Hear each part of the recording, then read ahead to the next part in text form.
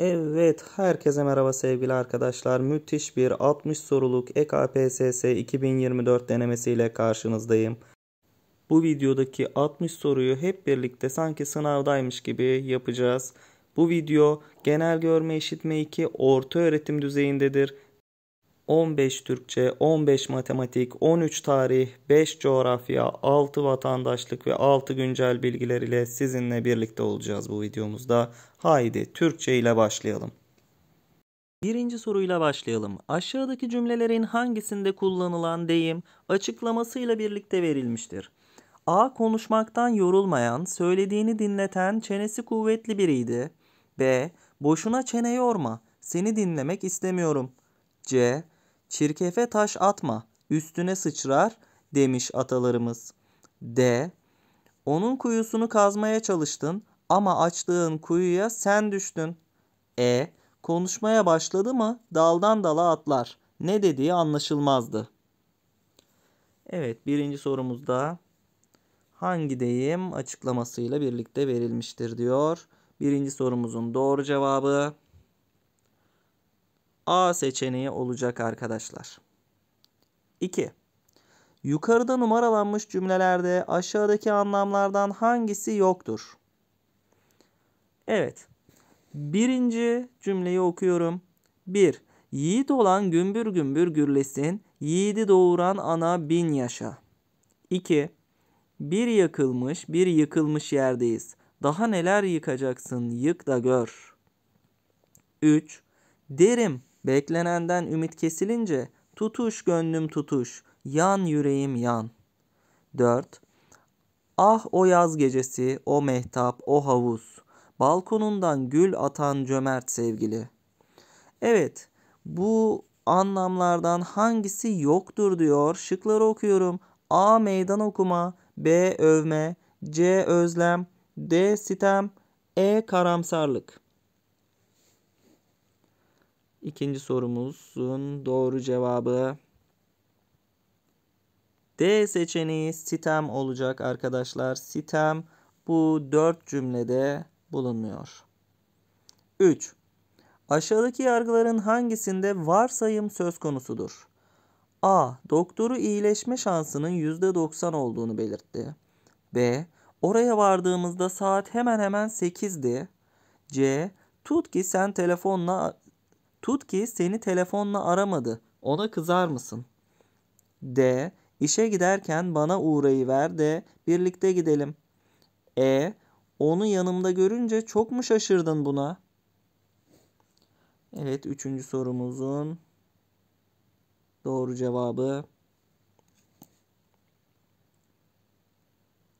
C seçeneği olacak arkadaşlar. C seçeneğinde varsayım söz konusudur. 4. Bu parçadaki numaralanmış cümlelerin hangisinde karşılaştırma yapılmıştır?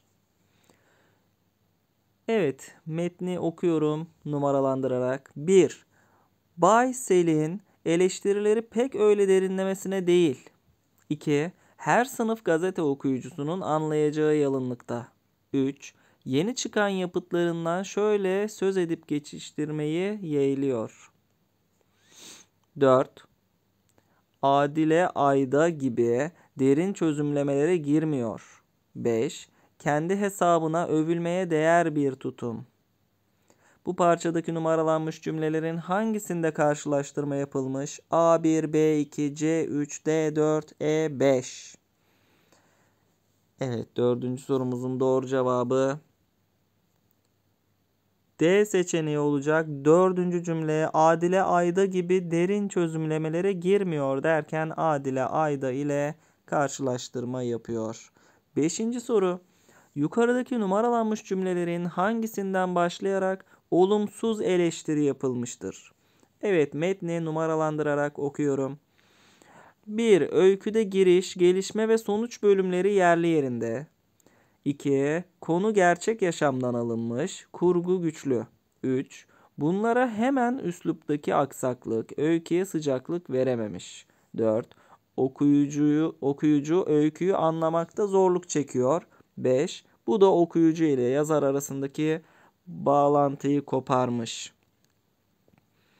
hangisinden başlayarak olumsuz eleştiri yapılmıştır diyor. Beşinci sorumuzun doğru cevabı C seçeneği olacak arkadaşlar. Bunlara rağmen üsluptaki aksaklık, öyküye sıcaklık verememiş cümlesinden itibaren olumsuz eleştiri başlıyor. Bu parçadan Peyami Safa ile ilgili aşağıdaki yargılardan hangisi çıkarılamaz? Parçayı okuyorum. Peyami Safa Fatih Harbiye romanında Türk müziğini savunduğu halde sonraki yıllarda bu düşüncesinden vazgeçerek çok sesli batı müziğini savundu. Dil konusunda da ciddi tereddütler yaşamıştı. Türkçenin sadeleşmesi gerektiğine her zaman inandı. Ancak bütün eski sözcüklerin atılmasını sakıncalı bulmuş olacak ki bunların birçoğunu eserlerinde kullandı. Onun bu tutumunu çelişki olarak değerlendirenler vardır. Hangisi çıkarılamaz? A. Batı müziğini Türk müziğine tercih ettiğini Fatih Harbiye romanında görürüz. B. Müzik konusundaki görüşleri zamanla değişmiştir. C. Dilimizden yabancı sözcüklerin atılması gerektiğini savunmuştur. D. Düşündükleriyle yaptıkları arasında uyumsuzluk olduğu söylenebilir. E.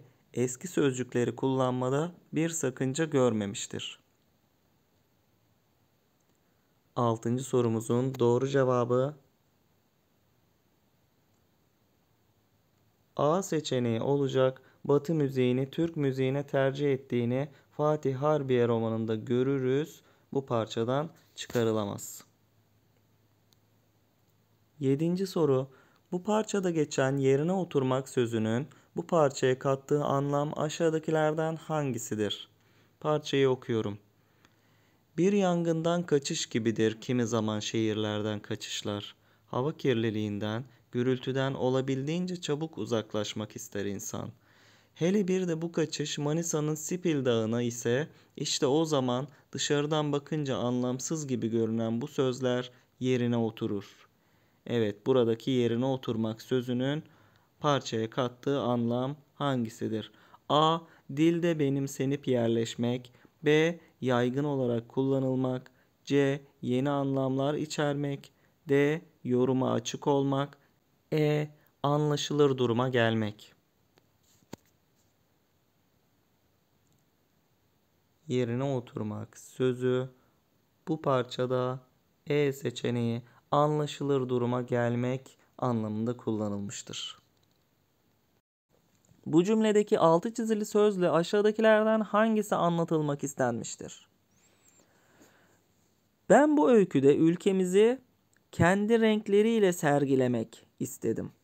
Kendi renkleriyle sergilemek altı çizili. Evet bu sözle ne anlatılmak istenmiştir? A. Toplumun sorunlarına ışık tutmak. B. Halk söyleyişlerinden yararlanmak. C. Yurdun kendisine özgü niteliklerini yansıtmak. D. Sanat anlayışının farklılığını göstermek. E. Kendisine özgü bir anlayışı geliştirmek. Evet, kendi renkleriyle sergilemek ne demek arkadaşlar? Evet. Doğru cevap C seçeneği olacak arkadaşlar 8. soruda. Yurdun kendisine özgü niteliklerini yansıtmak. Evet, ülkeyi kendi renkleriyle sergiliyor. Yani ülkenin kendisine özgü niteliklerini yansıtıyor. 9. Bu parçadaki numaralanmış cümlelerden hangisi düşüncenin akışını bozmaktadır? Evet numaralarıyla birlikte metni okuyacağım. 1. Ben de bu çağın sanatçısıyım elbet. 2. Olup bitenler benim dışımda değil. 3. Benim de böyle şaşkınlık dönemlerim oldu. 4. Çağımın beklentilerinin farkındayım ve bunun gereklerini de yerine getiriyorum. 5. Okuyucularımın benden istediği şeyleri sanatımdan ödün vermeden karşılamaya çalışıyorum. 6. Böylece kendimi sürekli olarak geliştirdiğime ve toplumla barışık tuttuğuma inanıyorum. Evet hangi cümle düşüncenin akışını bozuyor? A1, B2, C3, D4, E5. Dokuzuncu sorumuzda. Dokuzuncu sorumuzun doğru cevabı C3 olacak. Evet 1, 2 ve 3'ü okuyorum bakın. 1. Ben de bu çağın sanatçısıyım elbet. olup bitenler benim dışımda değil. 3. Benim de böyle şaşkınlık dönemlerim oldu. Burada farklı bir şekilde cümleye ket vuruluyor. Daha sonra çağımın beklentilerinin farkındayım ve bunun gereklerini de yerine getiriyorum diyor. Yani olup bitenler benim dışımda değil, çağın beklentilerinin farkındayım bu şekilde uyumlu olacakken üçüncü cümleye düşüncenin akışını bozuyor. 10. Aşağıdakilerden hangisi bir paragrafın giriş cümlesi olabilir? A. Okumak dilimizi iyi öğrenmek açısından da gereklidir. B. Okumayan insanın aktaracağı bir görüşü, düşünce ya da bilgisi olamaz. C. Ayrıca meslekle ilgili kitaplar vardır ki onlar da mesleğimizde ilerlememizi sağlar. D. Yazılarımızda kullandığımız örnekleri de çoğu zaman kitaplardan alırız. E. Ama kaderin asil, faydalı, güzel bir şey olmadığını kabul etmeliyiz. Kederin olacak, kaderin değil. Evet bu cümlelerden hangisi paragrafın giriş cümlesi olabilir? 10. sorumuzun doğru cevabı B seçeneği olacak arkadaşlar. Okumayan insanın aktaracağı bir görüşü, düşünce ya da bilgisi olamaz şeklinde bir paragrafın giriş cümlesi başlayabilir. 11. Bu parçadan aşağıdaki yargılardan hangisine ulaşılamaz? Evet 11. Gerçek sanatçının değeri ne olursa olsun anlaşılıyor. Belki ger belki yaşarken bilinmiyor sanatçının kıymeti. Belki aradan 50 yıl, 100 yıl geçmesi gerekiyor. Eninde sonunda hak ettiği yere geliyor sanatçı. Hem de zaman denen büyük ustanın şaşmaz imbiğinden süzüle süzüle, damlaya damlaya. Birden parlayıp sönmekten daha da kalıcı oluyor bu durum. Evet bu metne göre aşağıdaki yargılardan hangisine ulaşılamaz? Şıkları okuyorum. A. Usta sanatçıların değeri yıllar, çağlar sonra anlaşılır. B. Zaman iyi ve kötüyü ayıran bir süzgeçtir. C. Zamana yayılan başarı daha da kalıcı olmaktadır. D. Bazı sanatçıların değeri yıllar sonra anlaşılmaktadır. E. Gerçek sanat ve sanatçı hak ettiği değeri mutlaka alır.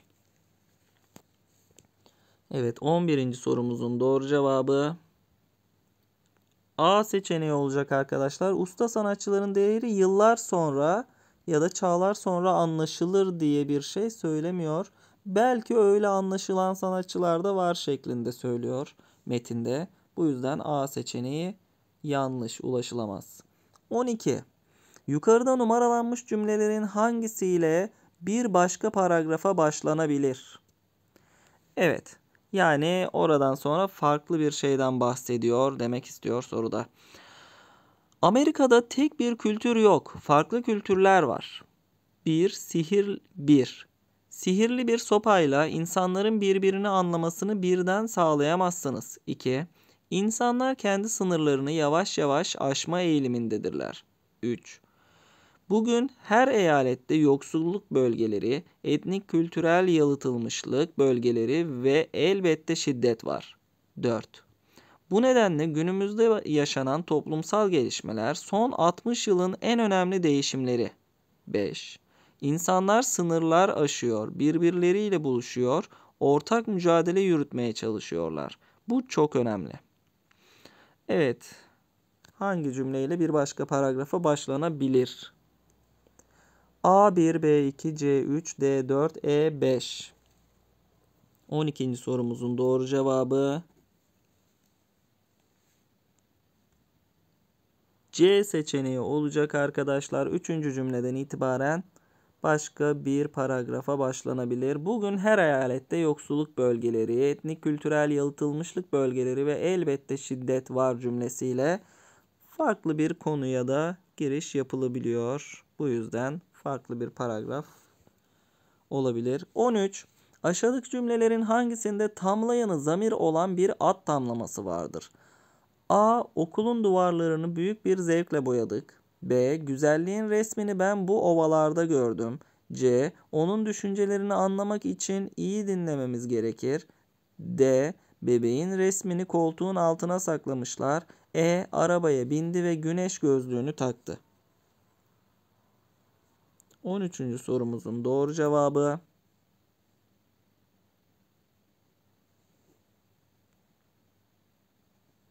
C seçeneği olacak arkadaşlar. Tamlayanı zamir olan bir ad tamlaması onun düşünceleri kısmında gözümüze çarpıyor. 14. Aşağıdaki cümlelerden hangisi nesnel bir görüş belirtmektedir? A. Başkentimiz olan Ankara'yı çok beğeniyorum. B. Şiir okumayı herkes beceremez. C. Yaprak Dökümü adlı roman Reşat Nuri Gül, Güntekin'in romanıdır. D. Romanlar şiirlere göre daha zor yazılarla, yazıla, yazılırlar. E. Gül en güzel kokan çiçektir. 14. sorumuzun doğru cevabı nesnel yani kişiden kişiye değişmeyen C seçeneği Yaprak Dökümü adlı roman Reşat Nuri Güntekin'in romanıdır. 15. ve Türkçenin son sorusuna geçiyoruz. Bu cümlede aşağıdakilerden hangisi yoktur? Öyle görünüyor ki bir yıl bizim ulusal belleğimize göre oldukça uzun bir süre. En akılda kalıcı görünen olayların ve kişilerin bile tarihin karanlıklarında silinip gitmesine yetiyor. Evet şıkları okuyorum. Hangisi yoktur? Onu bulacağız. Sıfat fiil eki. A. Sıfat fiil eki. B. Fiilden fiil yapma eki. C. isim fiil eki. D. Zarf fiil eki. E. Olumsuzluk eki. 15. sorumuzun doğru cevabı E seçeneği olacak. Olumsuzluk eki olan me, ma bu metinde bu cümlede yoktur arkadaşlar. Olumsuzluk anlamında kullanılmıyor. Mesela silinip gitmesine diyor ama gitme anlamında kullanılmıyor burada. Gitmek anlamında kullanılmaktadır arkadaşlar. Şimdi matematik kısmına geçiyoruz denememizde. 16. sorudan itibaren matematik sorularına geçiyoruz. 1 bölü 5 eksi 2 bölü 10 işleminin sonucu kaçtır? Evet, rasyonel sayılarda toplama çıkarma yaparken paydaların eşit olmasına dikkat ediyoruz. 1 bölü 5 kesrini 2 ile genişlettiğimizde paydalar iki tarafta da 10 oluyor ve eşitleniyor. 1 bölü 5 kesri 2 kere 1 2 bölü 2 kere 5 10 eksi 2 bölü 10 vardı zaten. Evet 2'den 2 çıktı 0 paydamız zaten 10. 0 bölü 10 kaçtır? 0'dır arkadaşlar. Birinci sorumuzun doğru cevabı matematikte A 0 olacak. Matematikte 2 genel yetenekte 17. soru. 3 üzeri 2 artı 3 üzeri 3 bölü 6 üzeri 2 işleminin sonucu kaçtır arkadaşlar? Evet burada direkt üslü sayılarda sonuçları bularak toplama ve bölme işlemleri yaparak sonuca ulaşacağız. 3 üzeri 2 9 çünkü 3 çarpı 3 olarak bulunur. 2 tane 3'ü yan yana yazıp çarpmamız gerekiyor. 3 üzeri 2 9'dur. Artı 3 üzeri 3 27'dir arkadaşlar. Bu kez 3 tane 3'ü yan yana yazıp çarpmamız gerekiyor. 3 kere 3 9, 9 kere 3 27 bu şekilde bulunuyor. Bölü 6 üzeri 2 6 kere 6 2 tane 6'yı yan yana yazarak bulunur. Sonucu da 36'dır. Evet yukarıdaki toplama işlemi 27 ile 9'u topladık. 36 pay kısmımız 36. Paydada da 36 vardır. 36 bölü 36 sadeleşince cevap 1 olur arkadaşlar. B seçeneği. 18. Köklü sayılar sorusu 7 bölü kök 7 işleminin sonucu kaçtır? Evet payda da bu şekilde köklü bir ifade görürsek arkadaşlar bu köklü ifadeyi aynısıyla çarpıyoruz. Kök 7 ile çarpıyoruz hem alttakini hem de üsttekini pay ve paydayı çarpıyoruz. 7 ile kök 7'yi çarptığımızda 7 çarpı kök 7 ya da 7 kök 7 olarak söylenebilir. Bölü kök 7 ile kök 7'yi çarpalım. Bunun kısa yolunu da göstereceğim size. Kök 7 çarpı kök 7. Çarptığımızda kök bütünleşir. 7 kere 7 49. Kök 49 dışarıya 7 olarak çıkar. Ya da bu şekilde iki tane aynı kökün çarpımını görürseniz bunun cevabı bir tanesinin içindeki sayıdır. Yani 7'dir arkadaşlar. Bu şekilde kısa yolu da var. Yani payda kısmına 7'yi yazıyoruz. 7 çarpı kök 7 bölü 7'de çarpım durumunda olduğu için buradaki 7'ler birbirini götürüyor, sadeleşiyor. Sorumuzun cevabı kök 7 olarak bulunuyor. C seçeneğinde de kök 7'yi işaretliyoruz arkadaşlar. 19. Ondalık sayılarda sıralama sorusu. Sayıların küçükten büyüğe doğru sıralanışı aşağıdakilerden hangisidir? Evet bunu ben rasyonel sayılara çevirerek bulacağım. Hem o şekilde de öğretimini yaparım.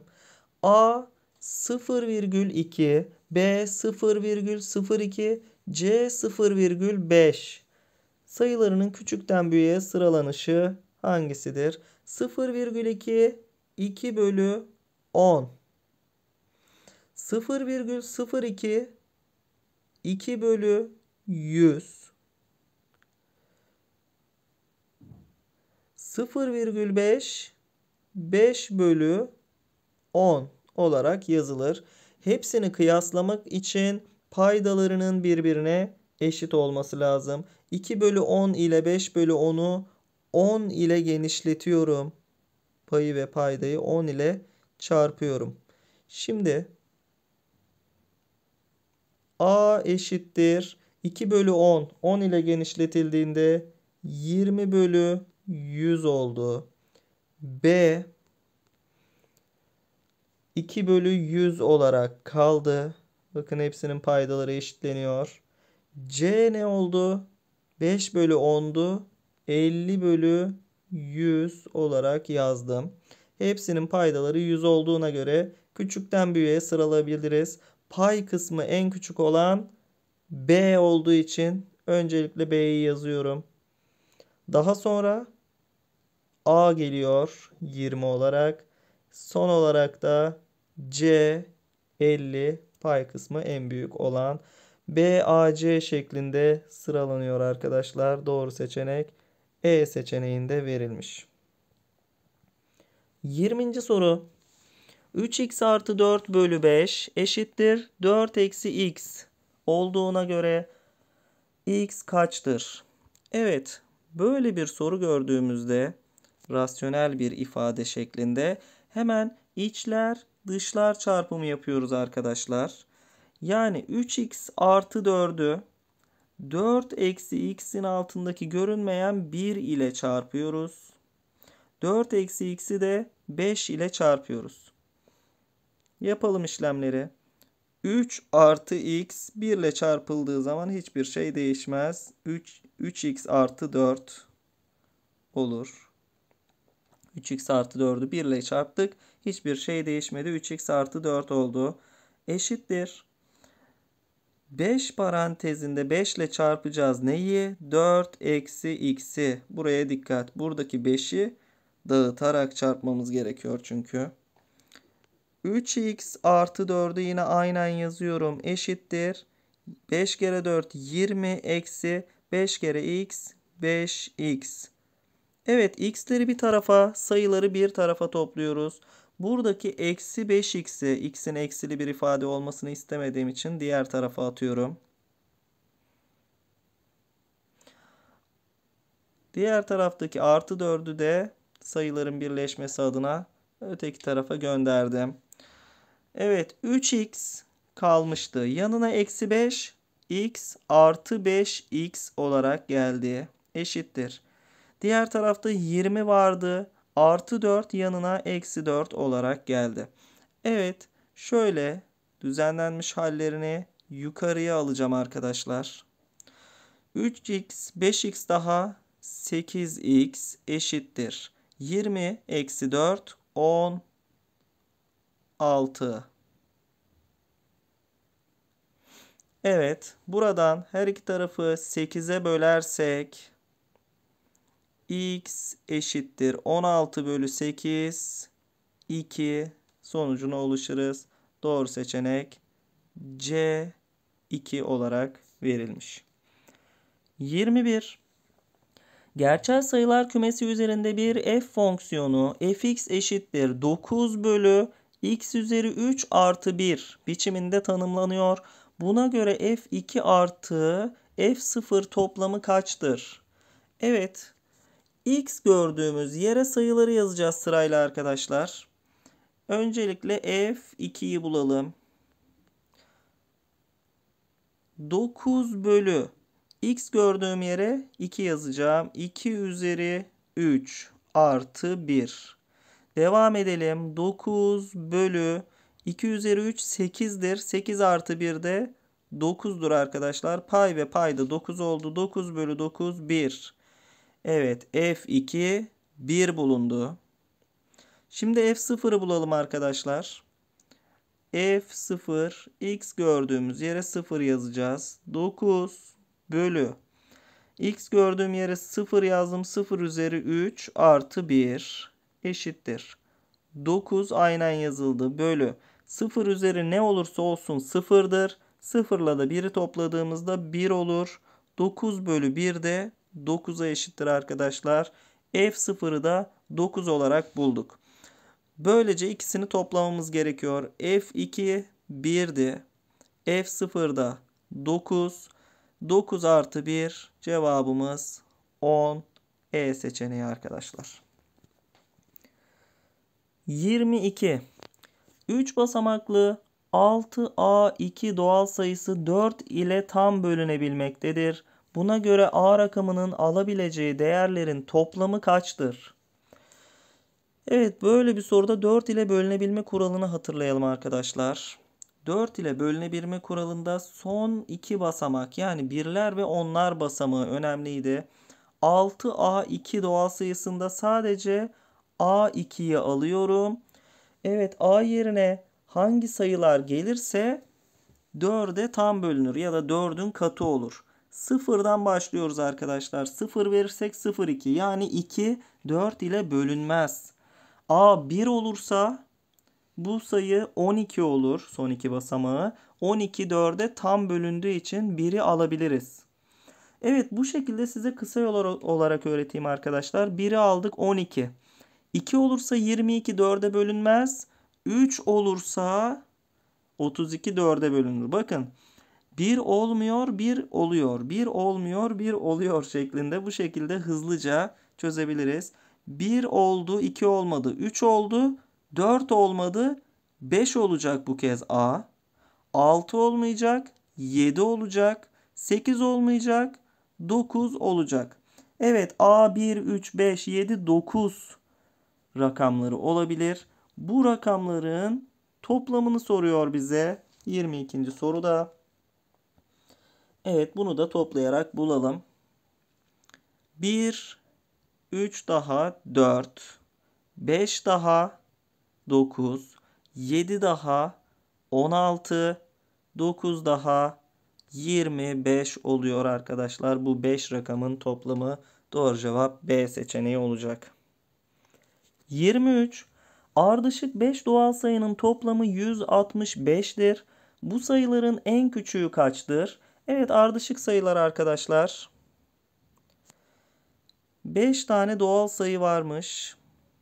Toplamları 165'miş. Bu tarz bir soruda bizim ilk bulmamız gereken ortanca sayı arkadaşlar. Ortanca sayıda nasıl bulunur? Bu 5 sayının ortalaması şeklinde düşünebilirsiniz. 165'i 5'e böleceğiz. Kaç sayı varsa o kadar sayıya böleceğiz arkadaşlar. Buradan 33 çıkıyor. Ortanca sayı 33. Böyle olursa en küçüğünü nasıl buluruz? Tek demiyor, çift demiyor, ardışık olarak gelen sayılar diyor.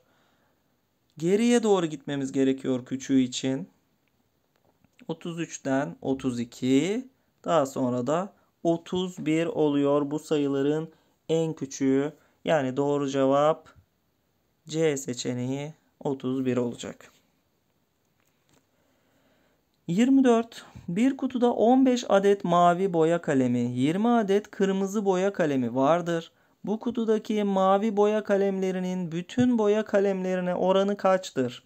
A 1 bölü 7, B 2 bölü 7, C 3 bölü 5, D 3 bölü 7, E 3 bölü 4. Evet 15 mavi boya kalemi, 20 kırmızı boya kalemi. Bize neyi soruyor? Mavi boya kalemlerinin pay kısmına onu yazacağız. Mavi boya kalemi ne kadar? 15. Payda kısmına da bütün boya kalemleri diyor. Bütün boya kalemleri 20 artı 15 35 yazacağım arkadaşlar. 15 bölü 35. Her ikisi de 5'e bölündüğü için 5 ile sadeleşir. 15'i 5'e böldüm 3. 35'i 5'e böldüm 7 arkadaşlar. Evet 3 bölü 7 D seçeneği olarak buldum 24. soruyu. 25. İki basamaklı K7 doğal sayısı rakamları toplamının 3 katına eşittir. Buna göre K kaçtır? Evet böyle bir soruda K7 doğal sayısını çözümleyeceğiz. 7 birler basamağı, K onlar basamağı. K'yı 10 ile çarpacağız. 10K artı 7'yi de 1 ile çarpacağız birler basamağı olduğu için. 7. Evet K7 doğal sayısı aslında 10K artı 7 olarak da yazılabilir. Bunu bileceğiz en başta. İki basamaklı K7 doğal sayısı rakamları toplamının diyor. Rakamları toplamı nedir bunun? K artı 7'dir. Bu ikisiyle işlem yapacağız. Evet şimdi 10K artı 7 eşittir. K artı 7'ye ama bunun 3 katına eşit olduğu için k artı 7'yi 3 ile çarparsak ancak 10k artı 7 olur. Evet 10k artı 7 eşittir 3 parantez içinde k artı 7 3'ü k artı 7'nin içine dağıtacağız. 10 k artı 7'yi yazıyorum aynen eşittir. 3 çarpı k 3k artı 3 kere 7 21. K'ları bir tarafa, sayıları bir tarafa yolluyorum. Buradaki 3K 10K'nın yanına. Diğer taraftaki artı 7 de 21'in yanına gelecek. Buradan 10K'dan 3K eksi olacak. 10K 3K diğer tarafa eksi 3K eşittir. 21 vardı. Artı 7 de diğer tarafa eksi 7 olarak geçti. Evet buradaki işlemi düzenleyelim. 10K eksi 3K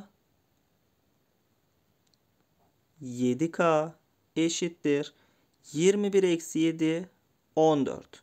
7K 14 ise her iki tarafı da 7'ye böldüğümüzde K eşittir 14 bölü 7'den 2 olur arkadaşlar. Doğru cevap E seçeneği olacak. 26. Kadir ile Bayram'ın ağırlıkları toplamı ağırlıkları farkından 98 fazladır.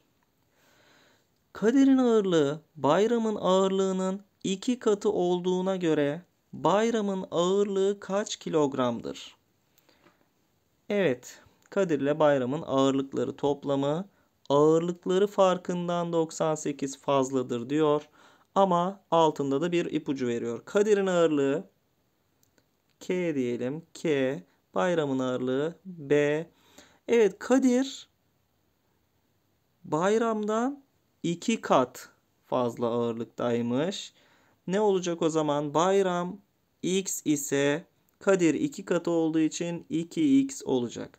Evet x'lerle işlemlerimizi şimdi birinci cümleye göre yapalım. Kadir ile bayramın ağırlıkları toplamı diyor. Kadir 2x, bayram x. 2x, x daha 3x. Ağırlıkları farkından diyor 2x'ten x çıktı. x kaldı. 98 fazladır diyor. Evet x ile 98'i topladığımızda 3x'e eşitmiş. Denklemimizi kurduk. Buradaki x Sadece diğer tarafa atıldığında yetiyor. 3x eksi x eşittir 98. 3x'ten x çıktı 2x eşittir 98. Her iki tarafı da 2'ye bölelim. x eşittir kaç olacak? 49. x 49 bize bayramın ağırlığını soruyor zaten. X'i soruyor. Cevap X 49 C seçeneğinde var arkadaşlar. 27. %20'si şeker olan 300 gram şekerli su karışımından bir miktar su buharlaştırılarak yeni bir karışım elde ediliyor. Bu yeni karışımın %25'i şeker olduğuna göre kaç gram su buharlaştırılmıştır? Evet. Şimdi %20'si şeker ise şekerli sunun, suyun 300'ü 20 bölü 100 ile çarparak ya da sadeleştirilmiş haliyle 1 bölü 5 ile çarparak şekerli sudaki şekeri bulacağız. Yani 1 bölü 5 ile çarpmak aslında 300'ü 5'e bölmektir. 300'ü 5'e böldük. 60 gram şeker. %20'si 60'tı. 60 gram şeker. Yazdık. Geri kalanı 240 gram su. Evet bir miktar su buharlaştırılacak. Yeni karışımın %25'i de şeker olacak. Yani 1 bölü 4'ü şeker. O zaman 3 bölü 4'ü de sudur. 3 bölü 4'ü de sudur. Bunu bulacağız. Şeker bu şeker sabit kalacak %60'ı. Su buharlaştırılacağına göre şekeri 60 yazacağız. 1 bölü 4'ü 60 sa tamamı 240 ama bize 3 bölü 4'ünü soruyor. Suyu soruyor. Evet. 180 su 3 ile çarparak buluyoruz. 60'ı 3 ile çarparak 180 gram su kalmış. O zaman buharlaştırılan ne kadar? 240'tan 180'i çıkaracağız. Cevabımız 60 olarak bulunacak arkadaşlar. 27. sorumuzun doğru cevabı C seçeneği 60. 28. Spor yapmak için evden çıkan Orhan dakikada 320 metre sabit hızla koşmaya başlıyor. Orhan 15 dakika koştuktan sonra geri dönüp aynı yoldan dakikada 80 metre sabit hızla yürüyerek evine geliyor. Buna göre Orhan kaç dakika yürümüştür? Evet, bu tarz soruları nasıl çözeceğiz? 320 metre sabit hızla koşmaya başlıyor. 15 dakika koştuktan sonra 320 ile 15'i çarptığımızda gittiği yolu bulacağız. Dönüyor. O süreden sonra dönüyor. Dakikada 80 metre sabit hızla yürümeye başlıyor. Ama kaç dakika? Bize sorulan o. Kaç dakika çarpı x. Evet. Bir süre yürüyor. X dakika yürüyor eve ulaşıyor ve bütün yol ikisinde de aynı olduğu için birbirine eşitliyoruz. Buradan gerekli sadeleştirmeleri yapalım arkadaşlar. Her iki tarafı da 80'e bölelim. Hiç çarpma işlemi yapmadan önce. 80 ile 120 sadeleşiyor. 4 kalıyor. 80 ile 320 sadeleşiyor. 4 kalıyor. 80 gitti. 4 kere 15 60 eşittir. Diğer tarafta da 80 ile 80 sadeleşti. X kaldı. Kaç dakika? X dakika demiştik. X de 60 olarak bulundu. Doğru cevap D seçeneği 60 olacak. 29 ve 30 geometri soruları. Uzun kenarı kısa kenarının 4 katı olan bir dikdörtgenin çevresi 120 birimdir. Buna göre dikdörtgenin alanı kaç birim karedir? Evet dikdörtgenin alanı uzun kenar çarpı kısa kenar olarak bulunuyor. Uzun kenarı kısa kenarının 4 katı ise uzun kısa olarak yazdım. Kısa kenarı x ise uzun kenarı 4x olarak ele alınır. Çevresi 120 birimmiş. Çevresi dikdörtgenin çevresi nasıl bulunuyordu? 2 çarpı uzun kenar artı kısa kenar. Çevre eşittir 2 çarpı uzun kenar 4x. Kısa kenar x. 2 çarpı 5x eşittir. Çevresi kaç? 120. 2 kere 5 10x eşittir 120 ise biraz daha güzel yazalım. 2 çarpı 5x 120 ise önce x'i bulacağız arkadaşlar. 2 kere 5 10x eşittir 120. Her iki tarafı da 10'a böldük. x eşittir 12 bulundu. Evet biz ne demiştik? Uzun 4x. Kısa x demiştik. Böylelikle kısa kenar 12, uzun kenar 48 bulundu. Dikdörtgenin alanı da uzun kenar çarpı kısa kenardı. 48 ile 12'yi çarptığımızda 29. sorumuzun doğru cevabı C seçeneği 576 oluyor arkadaşlar. 30. ve matematiğin son sorusu analitik geometri sorusu orijinden ve P3 9 noktasından geçen bir doğrunun denklemi hangisinde doğru verilmiştir? Bu orijinden ve bir noktadan geçen doğrunun denklemini bulabilmek için öncelikle eğimini bulmamız gerekiyor. Orijinden ve bir noktadan geçen doğrunun eğimi m eşittir y eksi x olarak bulunur. P x 3'dür. Y de 9'dur. Eksi dedim pardon. Y bölü x olarak bulunur. Eğim y bölü x ise 9 bölü 3 eğimi 3'tür. Evet orijinden ve bir noktadan geçen doğrunun eğimi ise y eşittir m çarpı x olarak bulunur. Hepsini yerine yazdığımızda y eşittir. m'i bulduk. m 3 3 çarpı x olarak denklem bulunur kolay bir şekilde. Sadece formülü bilmek gerekiyor arkadaşlar. Doğru cevap D seçeneği olacak. Ve genel kültür 30 soruya geçiyoruz. Genel kültür kısmına yani 13 tarih, 5 coğrafya, 6 vatandaşlık, 6 güncel bilgiler sorusunun olduğu kısma geçiyoruz. 1. İslamiyet öncesinde kurulan Türk devletlerinde saray, tapınak, kale gibi yapıların görülmeyişinin temel nedeni aşağıdakilerden hangisidir? A. Hayvancılıkla uğraşılması. B. Göçebe hayatın yaygınlığı. C. Sürekli savaş halinde olunması. D. Mimaride gelişmemiş olunması. E. Tek tanrıya inanmaları. Evet birinci sorunun doğru cevabı B seçeneği olacak göçebe hayatın yaygınlığı. İkinci soru. Eski Türklerde sosyal hayatı düzenleyen yazılı olmayan kanunlara ne ad verilmiştir?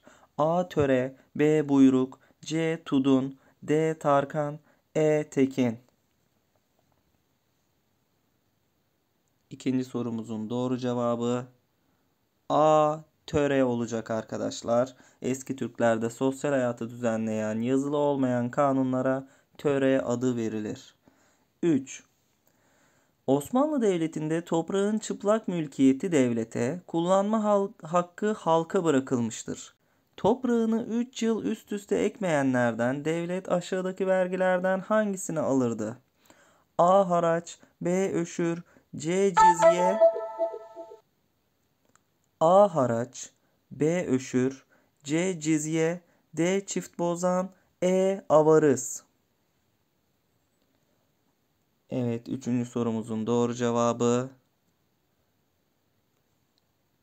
D seçeneği çift bozan olacak arkadaşlar. Toprağını 3 yıl üst üste ekmeyenlerden devlet çift bozan vergisi alırdı. Dördüncü soruya geçelim. Aşağıdakilerden hangisi 1. Dünya Savaşı'nda İtilaf devletlerinin Çanakkale cephesini açmalarının sebeplerinden biri değildir? A. Rus çarına yardım etmek. B. Müdafaa hukukçulara gözdağı vermek. C. Savaşı kısa sürede bitirmek. D. Osmanlı Devleti'ni saf dışı etmek. E. Almanları doğrudan çevirmek. Evet dördüncü sorumuzun doğru cevabı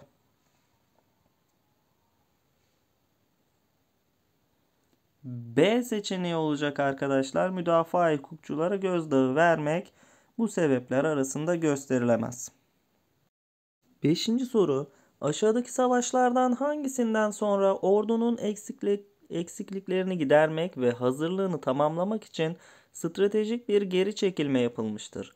A. Balkan Savaşı B. Çanakkale Savaşı C. Sakarya Savaşı D. Eskişehir Kütahya Savaşı E. 1. İnönü Savaşı Beşinci sorumuzun doğru cevabı D seçeneği Eskişehir Kütahya Savaşı olacak arkadaşlar. Altıncı soru. Manda ve himaye fikrinin kesin olarak reddedilmesine nerede karar verilmiştir?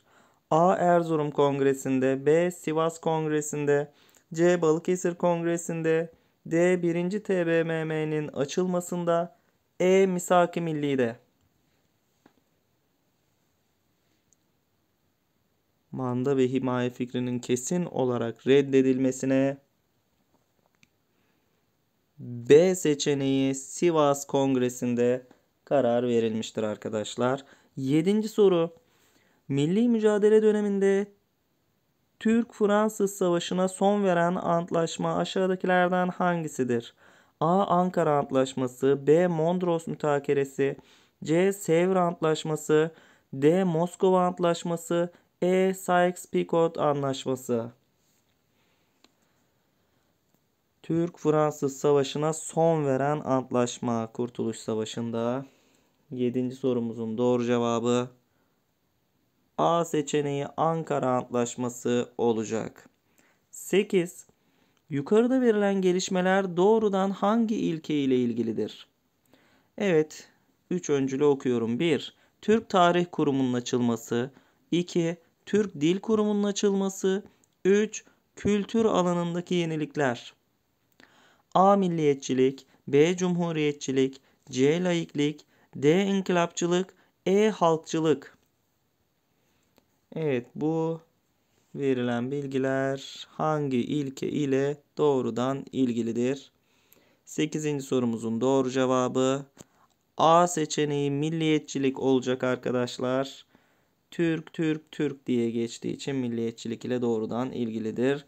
9. soru 1924 Anayasası'nda yer alan hükümlerden hangisi 1921 Anayasası'nda yer almıştır? A. Türkiye Devleti bir cumhuriyettir. B. Egemenlik milletindir. C. Yargı bağımsızdır. D. Seçimler 4 yılda bir yapılır. E. Türk Devleti'nin resmi dili Türkçedir. Evet, 9. sorumuzun doğru cevabı B seçeneği olacak arkadaşlar. Egemenlik milletindir. Cevabı doğru cevap. 10. soru. Mustafa Kemal Paşa 1. Dünya Savaşı'nda birçok cephede görev alarak önemli başarılar kazanmıştır. Mustafa Kemal Paşa'nın görev aldığı ilk ve son cephe aşağıdakilerden hangisinde doğru verilmiştir? A. Kafkas Suriye B. Çanakkale Irak C. Çanakkale Suriye D. Suriye Filistin E. Kafkas Çanakkale Evet Mustafa Kemal Paşa'nın görev aldığı ilk ve son cepheler 1. Dünya Savaşı'nda. 10. sorumuzun doğru cevabı C. Çanakkale Suriye olacak. İlk Çanakkale'de son olarak da Suriye'de görev almıştır. 11. soru. Milli mücadele döneminde Anadolu'da geçici bir hükümet kurulmasıyla ilgili karar ilk kez nerede ortaya çıkmıştır? A. Amasya Genelgesi B. Erzurum Kongresi C. Sivas Kongresi D. Havza Genelgesi E. Amasya Protokolü 11. sorumuzun doğru cevabı B seçeneği Erzurum Kongresi olacak. Anadolu'da geçici bir hükümet kurulması ile ilgili karar ilk kez Erzurum Kongresi'nde ortaya çıkmıştır arkadaşlar. 12. soru. Aşağıdakilerden hangisi siyasi alanda gerçekleştirilen inkılaplardan biri değildir? A. Saltanatın kaldırılması B. Cumhuriyetin ilan edilmesi C. Serbest Cumhuriyet Partisi'nin kurulması D. Türkiye Büyük Millet Meclisi'nin kurulması E. Devletçilik ilkesinin benimsenmesi Siyasi alanda değildir. Hangisi arkadaşlar? 12. sorumuzun doğru cevabı E seçeneği devletçilik ilkesinin benimsenmesi olacak. 13. ve tarih bölümünün son sorusu. Aşağıdakilerden hangisi Atatürk döneminde gerçekleşmemiştir? A. Bağımsız Hatay Cumhuriyeti'nin kurulması B. Türkiye'nin Milletler Cemiyeti'ne girmesi C. Nüfus mübadelesi sorununun çözümlenmesi D. Bağdat Paktı'nın imzalanması E. Boğazlar Komisyonu'nun kaldırılması Bu sorumuzun doğru cevabı D seçeneği Bağdat Paktı'nın imzalanması. Antalya ile Zonguldak'taki tarım etkinliklerinin farklı olmasında en önemli etken aşağıdakilerden hangisidir? A. Yükselti B. Yer şekilleri C. Toprak özelliği D. Nemlilik E. Enlem 14. soru Doğru cevabı E seçeneği enlem olacak arkadaşlar. 15. Türkiye'de heyelan olayının daha çok ilkbaharda ve kış aylarında görülmesinin temel nedeni aşağıdakilerden hangisidir? A. Yağışın ve kar erimelerinin artması. B. Sıcaklığın düşük olması. C. Toprağın kaygan hale gelmesi. D. Don olaylarının artması. E. Akarsuların hızlı akması. 15. sorunun doğru cevabı A seçeneği yağışın ve kar erimelerinin artması olacak. İlkbaharda ve kış aylarında heyelanın fazla görülmesinin temel nedeni. 16. Ülkemizin jeolojik yapısı göz önüne alındığında aşağıdaki alanlardan hangisinde şiddetli depremlerin görülme olasılığı en fazladır? A. Konya Havzası B. Ergene Havzası C. Mardin Eşiği D. Gediz Havzası E. Taşeli Platosu Evet 16. sorumuzun doğru cevabı D seçeneği Gediz Havzası olacak. Gediz Ege'dedir. Ege'de kırıklı yapı daha fazla olduğu için depremlerin görülme olasılığı en fazladır. Bu şıklar arasında Gediz Havzası'nda. 17. Akarsularımız ve üzerlerinde yer alan barajlarımız aşağıdaki eşleşmelerden hangisinde yanlış verilmiştir? A. Büyük Menderes adı güzel. B. Ceyhan Aslantaş. C. Dicle Kral Kızı. D. Yeşilırmak Kesik Köprü. E.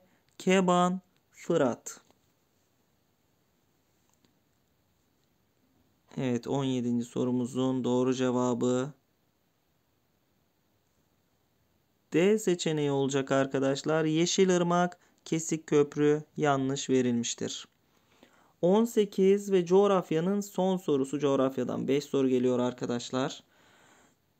18. Türkiye'de kıyı ve iç kesimler arasında dağların uzanışı nedeniyle belirgin iklim farklılıkları oluşmuştur.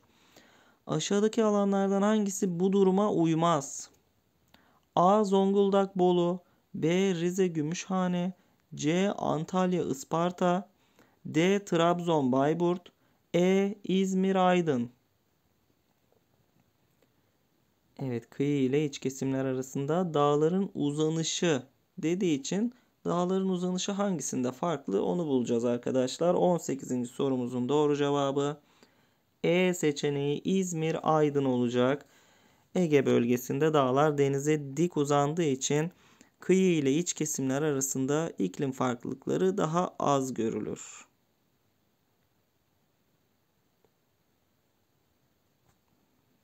On dokuz vatandaşlıkla ilgili arkadaşlar altı sorumuz. Yürütmenin her türlü işlem ve eylemleri yargı denetimine tabidir. Bu hüküm hangi ilkeye vurgu yapmaktadır? A. Hukuk devleti B. Demokratik devlet C. Sosyal devlet D. Laik devlet E. insan haklarına saygılı devlet 19. sorumuzun doğru cevabı A seçeneği hukuk devleti olacak. 20. Cumhurbaşkanlığı sistemine göre Cumhurbaşkanı kaç defa ve ne kadar süre görev yapabilir? A bir defa ve 7 yıl süreyle, B 2 defa ve 7 yıl süreyle, C 1 defa ve 5 yıl süreyle, D 2 defa ve 5 yıl süreyle, E 1 defa ve 10 yıl süreyle. Evet, Cumhurbaşkanı kaç defa ve ne kadar süre görev yapabilir? 20. sorumuzun doğru cevabı D seçeneği 2 defa ve 5 yıl süreyle olacak. 21. Siyasi parti grupları en az kaç üyeden oluşmaktadır? A 15, B 20, C 25, D 30, E 40. 21. sorumuzun doğru cevabı B seçeneği 20 olacak arkadaşlar. 22. Anayasamıza göre yasama yetkisi kimindir? A. Türkiye Büyük Millet Meclisi'nin, B. Bakanlar Kurulu'nun, C. Danıştay'ın, D. Mahkemelerin, E. Cumhurbaşkanı'nın. 22 Doğru cevabı A seçeneği Türkiye Büyük Millet Meclisi'nin olacak arkadaşlar. 23 Aşağıdakilerden hangisi sıkı yönetim ilan edilmesine sebep olmaz? A. Savaş hali B. Ayaklanma olması C. Savaşı gerçek, gerektirecek bir durum ortaya çıkması D. Şiddet hareketlerinin yaygınlaşması E. Ağır ekonomik bunalım 23. sorumuzun doğru cevabı E seçeneği ağır ekonomik bunalım olacak arkadaşlar.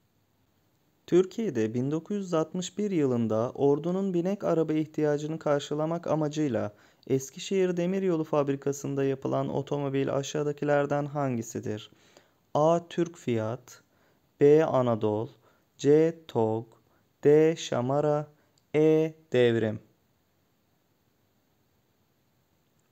Sorunun doğru cevabı E seçeneği devrim olacak arkadaşlar. Diğer soru Birleşmiş Milletler 2023 yılını ne yılı ilan etmiştir? A. Afrika çocukları B. Okyanus bilimleri C. Nükleer barış D. Teknoloji E. Enflasyonla mücadele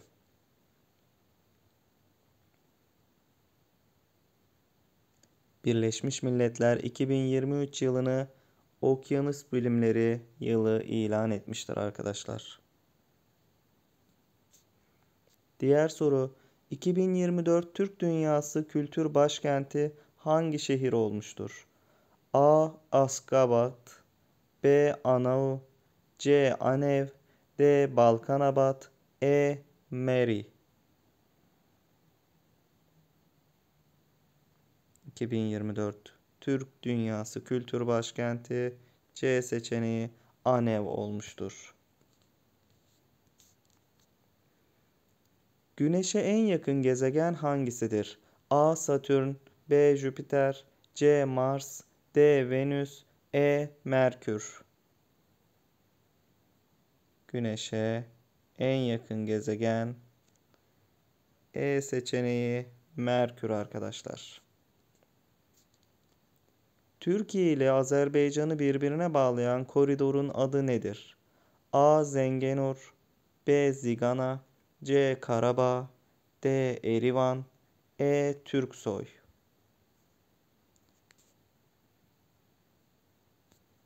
Bu sorumuzun doğru cevabı A seçeneği Zengenur olacak. Diğer soru Ayın haritasını çıkaran ilk bilim insanı kimdir? A. Piri Reis B. Kopernik C. Galileo D. Ali Kuşçu E. Seydi Ali Reis Ayın haritasını çıkaran ilk bilim insanı D seçeneğinde Ali Kuşçu'dur arkadaşlar. 30. ve son soru. Türk Konseyi örgütüne aşağıda verilen ülkelerden hangisi üye değildir? A. Azerbaycan B. Kırgızistan C. Tacikistan D. Kazakistan E. Özbekistan Sorumuzun doğru cevabı C seçeneği Tacikistan olacak arkadaşlar. Böylelikle 60 soruluk genel görme işitme 2 orta öğretim birinci denemesinin sonuna geldik. İyi çalışmalar arkadaşlar.